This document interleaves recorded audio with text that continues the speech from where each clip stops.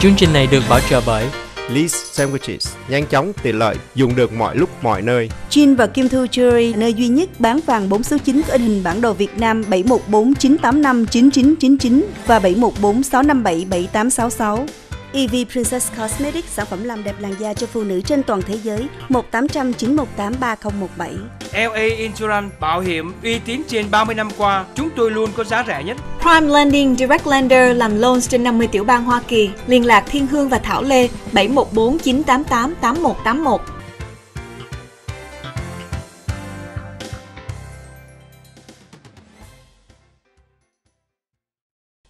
Kính thưa quý vị, chúng ta nói đến tuổi thọ của Hoa Kỳ. Có thể nói trong những người thời gian gần đây ở Hoa Kỳ này người ta nói hình như là những người cả những người già có ngày càng gia tăng cái tuổi thọ phải không? Trung Yeah. bình cỡ khoảng 78 cho đến 76 cho đến 78 tuổi và theo cái thống kê cho biết thì là hình như là à, được cỡ khoảng 76.8 tuổi. Dạ vâng, 78.6 ạ. 78.6 Dạ. tuổi. Nhưng mà đến bây giờ trong những cái thời gian gần đây thì người ta nói tuổi thọ của Hoa Kỳ có thể hình như là nó giảm xuống một vài tuổi. À, có thể là điều kiện y tế, điều kiện uống thuốc hoặc là cái điều kiện sử dụng thuốc bừa bãi cũng là một trong những cái nguyên nhân để làm cho người ta nghĩ rằng là cái tuổi thọ của Hoa Kỳ nó bị giảm đi. Dạ, và một trong những điều mà chúng ta thấy đó là theo tin từ CNN thì tuổi thọ của người phụ nữ luôn luôn cao hơn so với người đàn ông. Trung bình một người phụ nữ vào năm 2016 đó có tuổi thọ là 81.1 thì trong khi đó người đàn ông chỉ có 76.5 mà thôi. Wow, như vậy thì là điều đó cho thấy rằng là đàn ông lại sống ít thua hơn đàn bà hay sao? À, để đây có thể là một trong những cái minh chứng mà chúng ta những người đàn ông nên cưới vợ ít tuổi hơn là tại vì là để cho sống tới cái đoạn đó là thấy chúng ta có thể ra đi cùng nhau. đâu nói lại người đàn ông cưới nên cưới vợ ít tuổi hơn hay là lớn tuổi Dạ, hơn? ít tuổi hơn. ít tuổi hơn thì cái điều đó thì chắc là ngàn năm lúc nào cũng không nên là lúc nào Nhưng mà đừng có ít quá là tại vì ít quá thì có người đi trước có người đi sau. Dạ. Vâng. Kính thưa quý vị, đó là một vài cái à, tin ngắn mà nói về vấn đề tuổi thọ của Hoa Kỳ nó ảnh hưởng như thế nào đến cái đời sống hiện tại tại Hoa Kỳ. À, chắc là quý vị biết đời sống ở Hoa Kỳ thì tiện nghi nó đầy đủ hơn, không khí môi trường không bị ô nhiễm nhiều như tất cả những quốc gia khác. Tuy nhiên, điều người ta muốn nói đến đó là vấn đề sử dụng thuốc một cách bừa bãi, có thể nói cũng gây nên cái vấn đề tổn thọ rất nhiều thưa anh Tuấn. Dạ.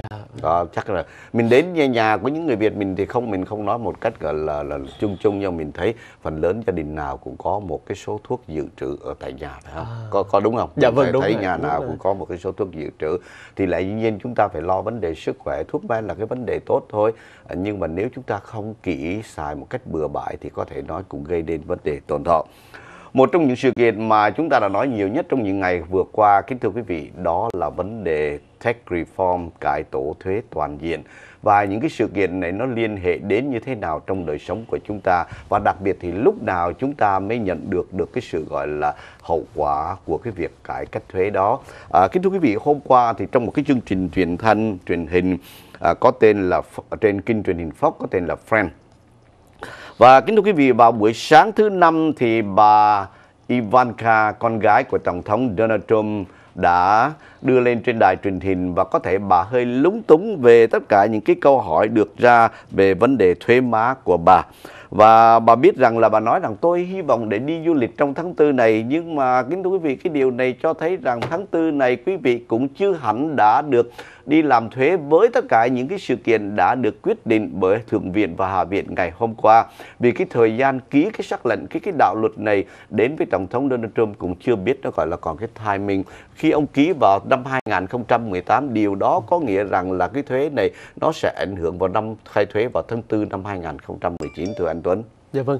Thưa quý vị, trong cùng lúc đó thì tin tức từ à, CNN cho biết rằng Apple đã à, công nhận rằng à, họ đã cố tình làm giảm hiệu năng của chiếc điện thoại của quý vị để có mục đích khác. Đây là bản tin mà Tuấn cũng đã đưa đến cho quý vị vào ngày hôm qua.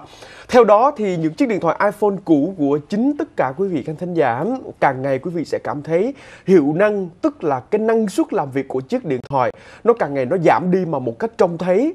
Đây cũng là lời xác nhận của bên phía à, chính thức của Apple bởi vì với một cái lý do họ nói rằng công nghệ ngày càng càng tăng, nhu liệu cũng càng tăng nhưng chiếc điện thoại của quý vị và nhất là cái viên pin tức là cái viên battery của quý vị không thể nào đáp ứng nổi. Thành thử ra họ mới tung ra những bản cập nhật. Thì những bản cập nhật này đã cố tình hạ xung nhịp cũng giống như là năng suất làm việc của từng cái bộ nhớ và từng cái con chip của chiếc phone. Nên chúng ta có cảm giác là mỗi lần cập nhật thì chúng ta càng cảm nhận là cái phone chúng ta chậm hơn. Việc này chỉ có thể giải quyết sau khi quý vị đem ra hãng Apple và thay cái viên pin của nó. Thì công việc cũng như là cái nào nó cũng ra cái đó.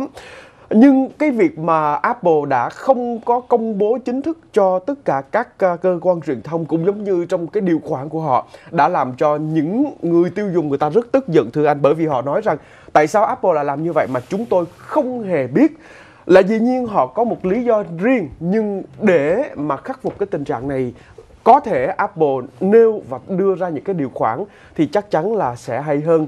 Một trong những à, sự việc mà gây ra những cái điều tiếng nhất trong khoảng thời gian vừa qua thưa quý vị khán thính giả đó là chuyện mà Apple và những chiếc điện thoại của họ nhưng mà Apple đến bây giờ thì có thể nói Apple 10 là một trong những cái tuyệt đỉnh của tất cả các tác phẩm về Apple của Apple yeah. Dạ. về vấn đề smartphone phải không thưa anh dạ, Tuấn? chưa chắc cả tại vì cho tới hiện tại bây giờ thì đã có rất nhiều những người người dùng đang sử dụng iPhone 10 thì họ đã à, thất vọng là bởi vì à, nó không đạt được những gì mà người ta mong muốn. À, đây được coi là một cuộc cải cách nhưng cũng là một trong những cái sự liều lĩnh của công ty. Wow, như vậy đến bây giờ thì có thể nói Apple 10 vẫn chưa chiếm được tất cả gọi là cái sự tín nhiệm của những người với công ty Apple qua cái công ty Apple 10 thế cái đặc biệt nhất mà Apple 10 đến bây giờ bán tới 1.300 mấy chục đồng là cái hiệu quả của nó là như thế nào? Thưa quý vị họ đòi hỏi một chiếc điện thoại iPhone tốt hơn hết tất cả những loại iPhone khác và có một sự cách mạng và đột phá À, tuy nhiên thì iPhone 10 à, một hơn một ngàn đô la tức là anh mua cái thương hiệu của Ồ, chiếc mua điện thương thoại hiệu này. Apple mà thôi. Yeah. Dạ. Nhưng mà hôm bên cạnh chúng ta hôm nay thì ngày thứ sáu có bác sĩ Michael Đào.